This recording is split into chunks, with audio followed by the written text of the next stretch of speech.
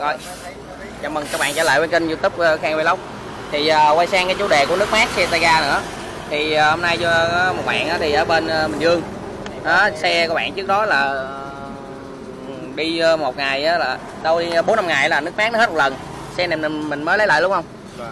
Thì uh, đây mình mở cho anh em xem ha Đây là cái, cái cán nước nè. Mình mới vừa nhớ này để mình kiểm tra nước nè. Thì nước trong đây nó khô queo nha anh em.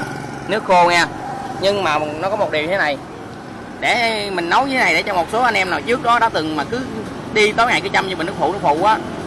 Thì mình nói tới đây á, thì một số anh em nói là xe tôi đi mấy năm trời à, à, không không bị gì hết. Thì đó là chuyện xe của mấy của mấy anh em. Nhưng xe này nè cái bình nước phụ nè nước vẫn còn anh em. Nè nước còn đầy đủ luôn nè. À, nước còn đầy đủ luôn. Thì mình để mình cho anh em biết rằng Yamaha á, là khi mà cái cái két nước này nè nó mà có bị lủng ống hay gì á lũng nước gì á thì nó, nước nó sẽ trâu ra ngoài hết và nó không có lấy nước được của cái hàng của cái hàng này. Còn riêng cái trường hợp của chiếc xe này á là không bị lũng đường ống. Nhưng mà sau khi mình tháo cái buri ra đây mình kiểm tra á, thì là cái đầu buri nó trắng phiếu như thế này nè. Thì chắc định là chắc chắn là cái này là hết 95 phần trăm là hoặc là trăm phần trăm luôn là cái gon quy lát đã bị hở gon quy lát.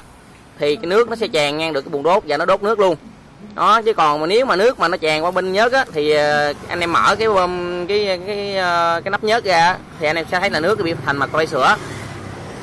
Bao trời đổ mưa rồi. Thôi để ờ, về, về xe vô nhà cái. À, thì đối với chiếc xe mà Luviat này anh em thì cái bơm nước của nó không có giống như những xe Novo hay gì hết mà nó không nằm ở đây mà là cái bơm nước của nó là nó nằm ở đây anh em. Nằm ở đây. Nên khi mà những vấn đề nào đó trước đó có một số anh em đã, đã, đã gọi cho mình nói là nước nó vô trong bơm trong máy á thì đổ nước vô là chạy một, hồi là nó sẽ mất nước. Mà mở cái, cái nắp nhớt ra thì bên đó là toàn là dầu nhớt nó muốn trào ra ngoài luôn tại vì nó quá đầy nghĩa là nó bị lòn ngang. Còn riêng tình trạng này mình nhắc mình làm clip là để cho anh em nào đó tham khảo lợi xem lợi đừng có ngồi mà phán rằng là xe của tôi đi mấy năm trời không sao. Đó là chuyện xe của anh em. Nó còn chiếc xe này là riêng xe này luôn là mình làm một cái dẫn chứng.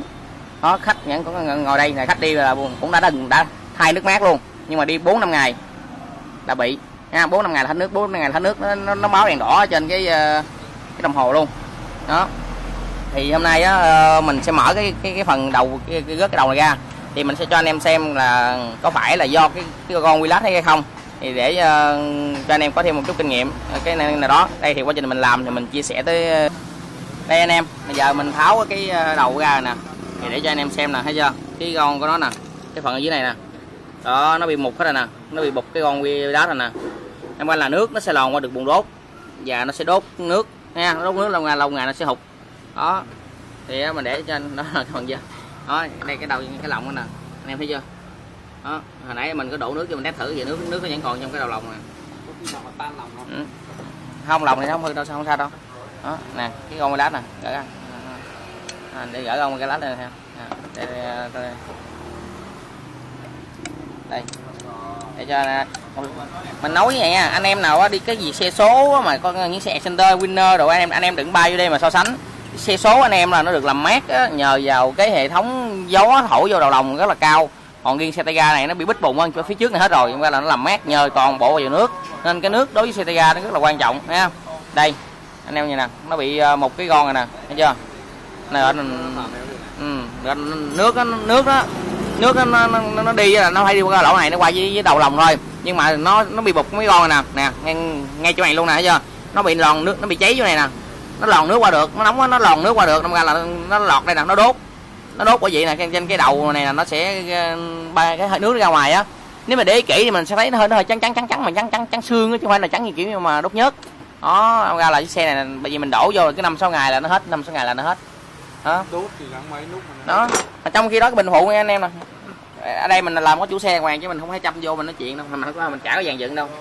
Trong cái bình nước này nó vẫn còn nước luôn á, còn đầy đủ luôn, còn một đúng một bình đầy luôn á, đỏ đỏ ao luôn á. Này, có chủ xe, bữa là thay vô rồi đó.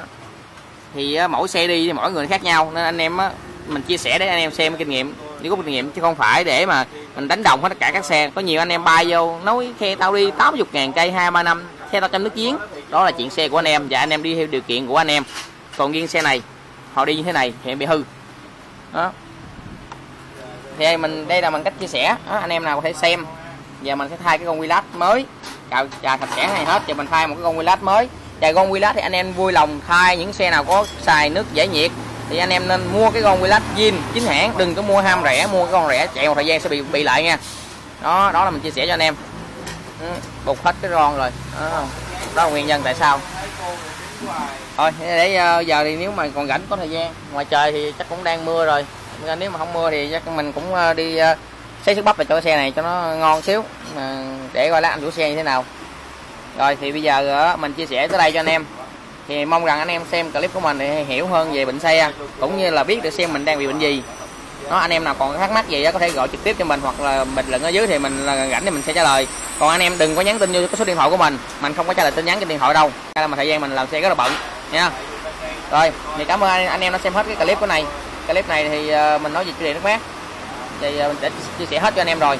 Thì ờ, hẹn gặp anh em trong những video clip tiếp theo. Nếu thấy hay thì hãy nhớ like subscribe kênh để ủng hộ mình nha.